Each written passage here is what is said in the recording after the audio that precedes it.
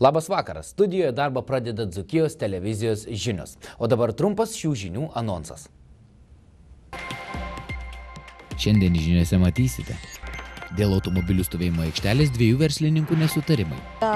Kada mes nusipirkom šitą pastatą, korpusą čia buvo visi savininkai seni ir mes čia turėjom bendrą tą aikštelę įvažiavimą, kaip ir visi, visi kartu turėjom. Jeigu jūs turite namą ir, ir, šalia, ir šalia jo jūsų nuosavą kiemą, ar ten galės kas nors įvažiuoti ar ne? Jei pakviesiu į svečius, galės, jeigu ne, ne. Prie socialinės iniciatyvos Alitus viena šeima jungiasi vis daugiau šeimų. Marijampolėje vyko Lietuvos seninijų sporto žaidinių atranka į finalinės varžybas.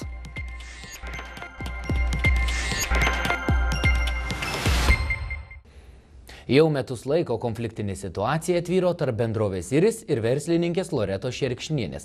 Konflikto objektas - automobilių stovėjimo aikštelė.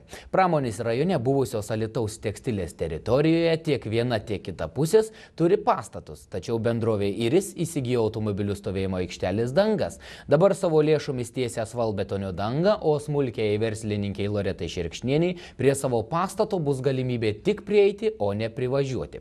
Kadangi abiem pusėm rasti kompromiso nepavyko, situaciją bando švelninti ir miesto savivaldybė. Konfliktų domisi Daina Baranauskaitė. Į Dzukijos televiziją kreipėsi verslininkė Loreta Šerkšnienė, teigianti, kad bendrovė Iris užkirto kelią jai patekti prie savo pastato. Šie bendrovė Iris priklausantys sandėliai yra adresu pramonės gatvė 1. Kebli situacija susiklosti todėl, kad Alitaus tekstilės bankroto administratorius pastatus pardavė dalimis. Mažyti korpusą įsigijo Loreta Šerkšnienė su tėvu, didžiąją dalį pastatų bendrovė Iris. Pastaroji bendrovė įsigijo automobilių stovėjimo aikštelės dangą. Šiomis dienomis vyko naujos dangos tiesimo darbai. Smulkioji verslininkė baiminasi, kad praras galimybę privažiuoti prie jai priklausančio pastato. Juo labiau, čia yra nedidelis automobilių servisas. Tuo metu mes, kada, kada mes nusipirkom šitą pastatą, korpusą čia buvo visi savininkai seni ir mes čia turėjom bendrą tą aikštelę įvažiavimą, kaip ir visi, visi kartu turėjom ir visi naudojomės jame. Ir buvom, reiškia, ruošėmės daryti projektą bendrai visi, kad pasirašėm pirminius tokius projektukus, kam kur priklauso prie pastato, kokie žemės sklypai. Ir paskui sakėm, laikui bėgant įgyvendinsim tą projektą ir, ir pasidalysim draugiškai. Kada atėjo jis vėliausiai mūsų naujausias kaimynas Irisas, tada prasidėjo savavališkos viskas savavališkos. Jų aikštelė, jų, jie padarė čia už man už nugaros buvo žaliavėja, jie gavo netgi, žinau, statybų, reiškia, darė be projekto tą va šitą, ką, ką jūs matot viską, jie projekto neturėjo, gavo baudas, gal jau jie susitvarkė, gal nesusitvarkė. Dabar jau jie vėl sujudo, jie ties dangą ir mum turi nu, iki pat langų paimti visas mašinas. Čia mes, mes tvarkomės, mes dirbam, čia mūsų darbo vieta. Mūsų visai nori nuo čia nustumti, padaryti vartus iš visų pusių, kad mes liktum visiškai be, be įvažiavimo. Bendrovės Iris direktorius Algirdas Navickas tikina, kad su pastatų kaimynė nekarta bandė susitarti, tačiau bendros kalbos esą neranda iki šiol. Kas turi nusileisti? Nu, tai reguliuoja įstatymas. Arba teismas. Tai vis tiek įstatymas.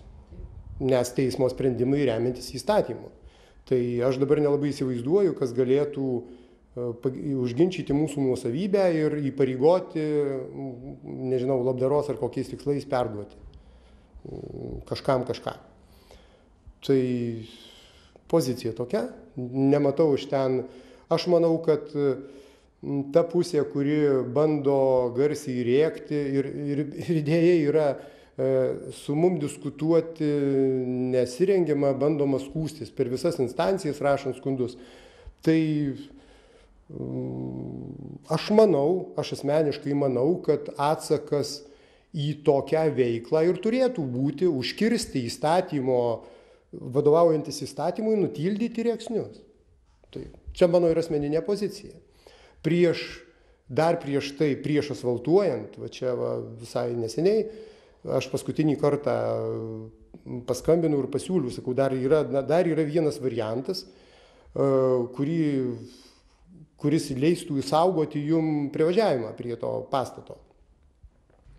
Tai reiškia padaryti tokius mainus, mes jums duotume dangos kažkokį tai plotį, kad jūs privažiuotumėt, o jūs mums leistumėt, e, duotumėt pastato dalį, kad būtų sujungtos mūsų teritorijos vienoje pastato ir kitoje pusėje. Na tai tai tiesiog niekaip buvo pasakyta, kad maždaug iki tam tikros dienos atsakys, atsakymo nesulaukiam, tai čia tokie, nu, nežinau. Tai aš manau, kad mes su, surasti kompromisui mes ėmėmės visų priemonių, tiesiog kita pusė to nenorėjo. Žinoma, galima kalbėti galbūt visai, jeigu jums įdomu, aš galiu dokumentaliai parodyti, kad buvo registruoti laiškai siūsti, ten data yra pusė metų laiko, kur galima buvo diskutuoti.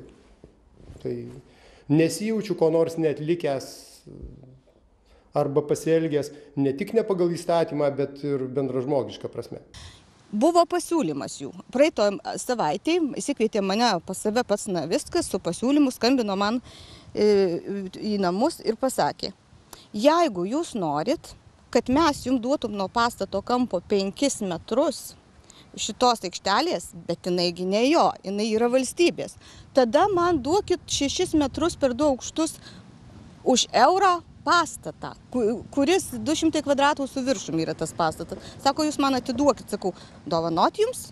Ne, už eurą atiduokit. Tada mes duosim valstybinės jums žemės 5 metrus čia prieki, kad jūs galėtumėt vykdyti veiklą. Anot Alitaus miesto savivaldybės architekto Mindaugo Matažinsko, tokių situacijų mieste netrūksta ne tik buvusios Alitaus tekstilės, bet ir buvusio mėsos kombinato teritorijose aštriausia situacija yra šioje vietoje, kai du verslininkai susidūrė prie neišspręstos ribos ir dabar vieni verslininkai tvarkosi aikštelę, kiti pergyvena, kad nebus privažiavimo jiem prie tos aikštelės. Nes vis tiek vykdomas ir didysis savivaldybės projektas šitoje vietoje, kai norima sujungti pramonės ir naują gatvę ir sudaryti visiems galimybę patekti į savo pastatus. Tai irgi norėtumėm akcentuoti visiems pareiškėjams, kad prie pastatų privažiuoti galės tikrai visi. Tam yra rengiamas irgi formavimo pertvarkymo projektas, kuriame yra numatomi ir servitutai, ir privažiavimo keliai, ir visa kita. Anot bendrovės Iris vadovo, jie planavo užsipirkti verslininkės Loreto Šerkšnienės ir jos tėvo patalpas, tačiau susitarti nepavyko. Tai nereiškia, kad mes e, kompromiso ieškom bent kokią kainą ir, ir maždaug kaip ten sako, Maksima kažkur už tai, kad iške, iškeltų sumokėjo milijonus, o kas čia, nu tai nerimta kalba. Mes skaičiuojam. Jeigu mums, mm, kad ir brangiai viduje įsirengti apsimoka, tai reiškia, mes neperkam. Aš suprantu, tai yra tam tikri trukdžiai, bet toliau viskas pagal įstatymą. Nėra kito būdo. Jeigu pusės nesusitarė, tai negalima kaltinti stipresnios pusės, kad ji nesitarė. Aš e, sakau, dokumentaliai galiu pa, pa, įrodyti, kad mes tarėmės. Ir tai yra ruošti tie dokumentai ne tam, kad e, kokiai televizijai ir kam nors pasakyti. Tiesiog jau mes tą bandėm ten, tų skundų buvo tiek, kad mes turim samdytis teisininkus ir daryti taip, kad kiekvieną kartą būtų tai įrodymas, parodantis ketinimus ir visa kita. Iris vadovas neslėpia, kad po asfaltavimo darbų bendrovė planuoja užsitverti aikštelę, tačiau bus paliekamas, kaip reikalauja teisės aktai, 3 metrų pločio praėjimas šalia verslininkės Loretos ir jos tėvo pastato. Jeigu jūs turite namą ir, ir, šalia, ir šalia jo jūsų nuosavą kiemą, ar ten galės kas nors įvažiuoti ar ne? Jei pakviesiu į svečius, galės, jeigu ne, ne. Bet 3 metrai jiems kaip ir priklauso. Um, 3 metrai pagal kažkokius ten, sakykime, įstatymus, normas, kurias aš ne visai išmanau, pastato aptarnavimui, pastato aptarnavimui priklauso.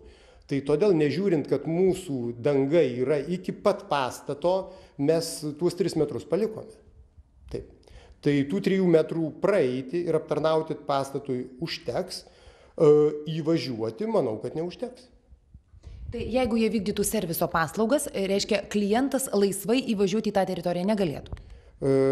Jei jūs kalbate pro mūsų teritoriją, tai jis ir laisvai, ir nelaisvai įvažiuoti negalėtų, todėl kad ten tuo metu stovėtų arba mūsų sunkvežimiai su prekėmis, arba mūsų, šit, arba mūsų e, darbuotojų automobiliai. Todėl, kad galų gale mes asfaltuojam e, savo sąskaitą, įrengiam savo sąskaitą ir kaip žinia ten pagal tuos projektus savivaldybės ten turėjo būti aikštelių kurios būtų įrengtos miesto pinigais jeigu jos būtų atviros šiuo atveju tai yra kitaip tai yra uždara privati teritorija Alitaus miesto savivaldybė buvusioje Alitaus tekstilės teritorijoje planuoja savo lėšomis įrengti bendro naudojimo automobilių stovėjimo aikštelę. Daina Barnauskaitė, Edgaras Burneika, Marius Šagunevičius, Dzukijos televizija. Nuo 2015 m. rugsėjo mėnesio Alitaus miesto gausios šeimos naudojasi nuolaidų kortelę Alitus viena šeima. Pradėta įgyvendinti socialinė iniciatyva nuolaidų kortelė Alitus viena šeima jau išdalinta daugiau kaip 200 šeimų. Plačiau apie tai netrukus parengtame reportaže. Nuo 2015 m. rugsėjo mėnesio Alitaus miesto gausios šeimos naudojasi nuolaidų kortelę Alitus viena šeima. Pradėta įgyvendinti socialinė iniciatyva nuolaidų kortelė Alitus viena šeima jau uždalinta daugiau kaip 200 šeimų. Socialinė iniciatyva Lytus viena šeima tikrai plečiasi ir labai džiaugiamės, kad prisijungė 200 gausi šeima. Lytus viena šeima socialinė iniciatyva pradėta nuo praeitų metų rugsėjo mėnesio ir ji skirta tris ir daugiau auginančiam šeimoms. Alitaus miesto savivaldybė ir toliau tęs iniciatyvą pagalba Alitaus miesto gausioms šeimoms, todėl jos gyvenančios ir Alitaus rajone taip pat gali gauti nuolaidų korteles. Pagaminta ir platinama nuolaidų kortelė Alitus viena šeima skirta šeimoms, auginančioms tris ir daugiau vaikų. Ši kortelė gali naudotis ištisus metus, kortelė išduodama vieneriems metams, tačiau įpratesiama tol, kol vaikas studijuoja arba mokosi iki 26 metų.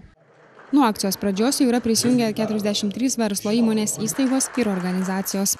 Prie kortelės prisijungia daugiau kaip 43 verslo įmonės, kurios siūlo įvairias nuolaidas tiek gaminamai produkcijai, tiek parduodamoms prekiams, tiek teikiamomis paslaugomis. Na ir smagu, kad šeimų yra teigiami atsiliepimai ir, ir jie sėkmingai jungiasi prie šios gražios iniciatyvos. Alitaus miesto įmonės įstaigos nevyriausybinės organizacijos kviečiamos prisidėti prie paramos gausioms šeimoms ir suteikti nuolaidą gaminamai produkcijai ir teikiamoms paslaugoms kortelių Alitus viena šeima turėtojams. Viktorija Ražukaitė, Kestutis Ražanauskas, Dzukijos televizija.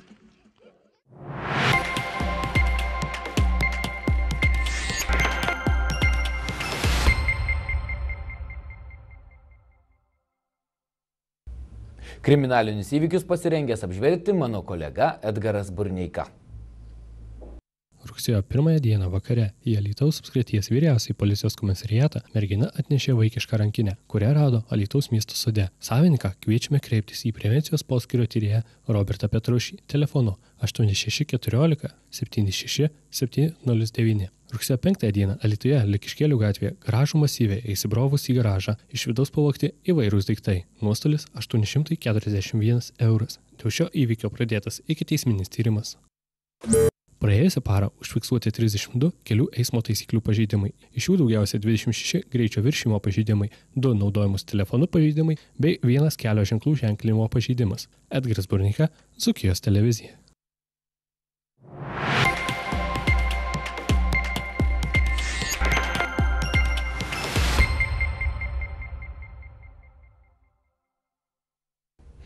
Savaitgalį Marijampolėje vyko Lietuvos seniūnijų sporto žaidinių atranka į finalinės varžybas.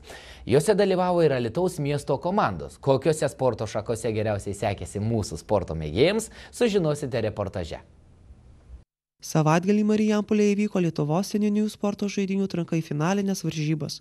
Jos organizuojamos septintąjį kartą. Lietuvos seniūnijų žaidynės tai didžiausias masiško sporto sisteminis renginys, apimantis plačiausią šalies geografiją. Šių seniūnijų žaidinių dėja pakviesti visus šalies gyventus reguliariai sportuoti gyvenamosiose vietose ir tokiu būdu didinti jų fizinį aktyvumą kaip svarbiausią sveikatingumo dėsnį. Šiuose Lietuvos seniūnijų sporto žaidynėse buvo varžomasi krepšinio, tinklinio, futbolo, šaškių, šachmatų, smiginio, stalo teniso ir vadovų trikovės varžybose. Alitaus miesto stovavo mikrorajonų nugalėtojai. Alitiškiai sėkmingai startavo antrajame rate. Mūsiškiai nugalėtojais tapo futbolo ir šaškių rungtyse. Alitaus komandos antrasis vietas iškovojo moterų ir vyrų kategorijose, laimėjusios krepšinio ir smiginio varžybas. Trečiomis vietomis tenkinosi taip pat dzūkai, laimėjo moterų bei vyrų tinklinio ir šachmatų rungtis. Šios komandos bus iškovoję teisę atstovauti Lietuvos miestą finalinėse varžybose, kurios vyks rugsėjo 17 dieną Kedainiuose. Mario Šagunevičius, Zukijos televizija.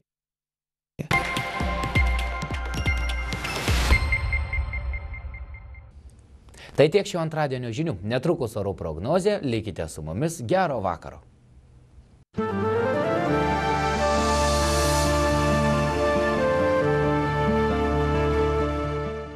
Nuo šiol Lietuvoje ir tik mes brangiausiai perkame gintarą. Perkame karolius, grinuolius akmenis, statulėlės ir kitus gintaro dirbinius. Jūsų gintaro karolių vertė gali siekti iki pusantro tūkstančio eurų.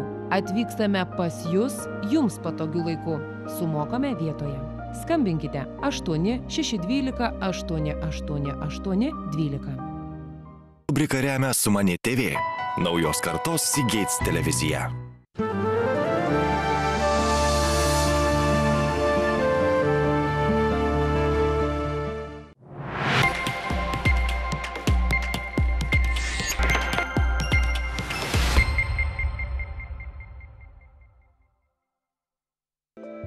Trečiadienį aukšto atmosferos slėgio sūkurys iš Lietuvos nesitrauks, orai išliks sausi. Naktį rytą vėl kai kur pasirodys rūkai, vakarinių krypčių vėjas atneš dar truputį šiltesnius orus. Ketvirtadienį anticiklonas ir toliau karaliaujantis virš Baltijos šalių lietaus neįleis. Vėjas bus silpnas, įdienojus suksis iš pietų ir ims ginti šiltesnį orą mūsų link. Artimiausią naktį Lietuvoje bus 10, Kaune ir Vilniuje 11, Klaipėda 14 laipsnių šilumos. Trečiadienio dieną Lietuvoje ir Kaune termometro stulpelis pakils iki 20, Vilniuje ir Klaipėda iki 19 laipsnių aukščiau nulio.